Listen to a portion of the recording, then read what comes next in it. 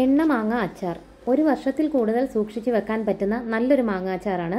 സാധാരണ അച്ചാറിലൊക്കെ ചേർക്കുന്ന പോലെ വിനാഗിരിയോ അങ്ങനെയുള്ള കാര്യങ്ങളൊന്നും ചേർക്കണ്ട.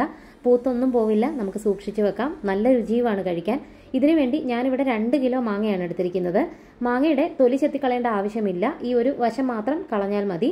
അതിനുശേഷം വലിയ കഷ്ണങ്ങളാക്കി അരിഞ്ഞെടുക്കാം. നമുക്ക് ഇഷ്ടമുള്ള ഷേപ്പിൽ അരിഞ്ഞെടുക്കാം. ഞാൻ കുറച്ച് നീളത്തിൽ വലിയ കഷ്ണങ്ങളാക്കിയാണ് അരിഞ്ഞെടുത്തിരിക്കുന്നത്. കടുമാങ്ങയ്ക്കൊക്കെ അരിയുന്നത് പോലെ തീരെ ചെറിയ കഷ്ണങ്ങളാവരുത്. ഈ ഒരു പരുവമാണ് ഏറ്റവും നല്ലത്. ഇനി ഒരു ചീനച്ചട്ടിയിൽ ഒരു ടേബിൾ സ്പൂൺ കടുക് ചേർത്ത് കൊടുക്കാം. മുക്കാൽ ടേബിൾ സ്പൂൺ ഉലുവയും ചേർത്ത് കൊടുക്കാം. ഒരു മീഡിയം ചൂടിൽ ഇത് രണ്ടും കൂടി നന്നായിട്ടൊന്ന് വറുത്തെടുക്കണം. ഉലുവ നന്നായിട്ട് മൂത്ത് കഴിയുമ്പം ഈ കടുക് ഒന്ന് പൊട്ടി തുടങ്ങും. അതാണ് കറക്റ്റ് പരുവം. തീ ഒരുപാട് കൂട്ടി വെക്കരുത് കരിയരുത്. ഈ ഒരു പരുവം മതി. കടുക് ദേ കണ്ടോ ഇങ്ങനെ പൊട്ടി തുടങ്ങും. ആ സമയത്ത് നമുക്ക് തീ ഓഫ് ചെയ്ത് മാറ്റി വെക്കാം.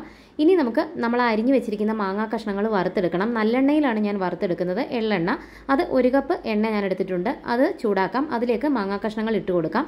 കുറേശ്ശെ കുറേശ്ശെ ഇട്ട് വറുത്ത് കൊടുത്താൽ മതി. ഒന്നിച്ച് വറുക്കാനാണെങ്കിൽ എണ്ണ ഒരുപാട് വേണ്ടി വരും. അതുകൊണ്ട് ഞാൻ കുറേശ്ശെ കുറേശ്ശെയാണ് വറുത്തെടുത്തത് ഇതിലേക്ക് ഉപ്പൊന്നും ഇപ്പോൾ ചേർക്കണ്ട. ഇങ്ങനെ നേരെ വറുത്തിങ്ങ് കോരിയാൽ മതി. ഈ മാങ്ങ കഷ്ണങ്ങൾ എണ്ണ കുടിക്കത്തൊന്നുമില്ല. ഒട്ടും തന്നെ എണ്ണ കുടിക്കില്ല. നമുക്ക് എളുപ്പത്തിൽ തന്നെ വറുത്തെടുക്കാൻ പറ്റും.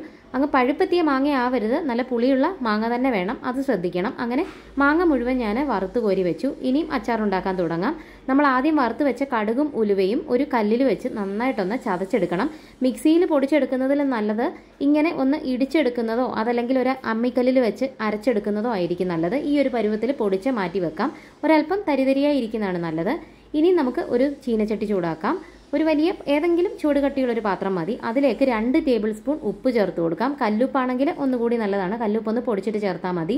ഉപ്പ് നന്നായിട്ടൊന്ന് ചൂടാക്കി എടുക്കണം. എന്തെങ്കിലും ജലാംശം ഉപ്പിലുണ്ടെങ്കിൽ അത് മാറാൻ വേണ്ടിയിട്ടാണ്. രണ്ട് കിലോ മാങ്ങയ്ക്ക് അരക്കപ്പ് കാശ്മീരി മുളക് പൊടി ഒരു ടീസ്പൂൺ കായപ്പൊടി ഒരു ടീസ്പൂൺ മഞ്ഞൾപ്പൊടി പിന്നെ നമ്മൾ നേരത്തെ ആ ചതച്ച് വെച്ച കടുകും ഉലുവയും കൂടിയുള്ള ആ മിശ്രിതം അതും ചേർക്കാം. എന്നിട്ട് എല്ലാം കൂടി ചെറിയ തീയിൽ ഒരു മൂന്നാൽ മിനിറ്റ് നന്നായിട്ടൊന്ന് വഴറ്റിയെടുക്കണം. ഈ മുളക് പൊടിയുടെയും ഒക്കെ പച്ചമണം മാറണം. അതുപോലെ നമ്മൾ ആ ചതച്ചെടുത്ത ഉലുവയുടെയും കടുകിന്റെയും ഒക്കെ ആ പച്ചമണം മാറി നന്നായിട്ട് മൂത്ത് നല്ലൊരു മണം വരും. തീ കൂട്ടി വെക്കരുത് കരിഞ്ഞു പോവും. ഏറ്റവും ചെറിയ തീയിൽ വേണം ചെയ്യാൻ മുളക് പൊടി നല്ല മൂത്ത് ഒരു മണം വരുമ്പോൾ തീ ഓഫ് ചെയ്തിട്ട് നമ്മൾ നേരത്തെ വറുത്ത് വെച്ചിരിക്കുന്ന മാങ്ങ കഷ്ണങ്ങൾ ഇതിലേക്ക് ഇട്ട് കൊടുക്കാം. എന്നിട്ട് നന്നായിട്ട് ഇളക്കി യോജിപ്പിക്കാം. എല്ലാ വശത്തും ഒരേ രീതിയിൽ ഈ മസാല പുരണ്ടിരിക്കണം.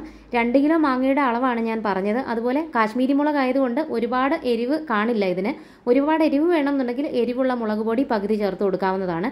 കാൽ കപ്പ് എരിവുള്ള മുളക് പൊടിയും കാൽ കപ്പ് എരിവ് കുറഞ്ഞ മുളക് പൊടി അങ്ങനെ മിക്സ് ചെയ്ത് വേണമെങ്കിലും ചേർത്ത് കൊടുക്കാം.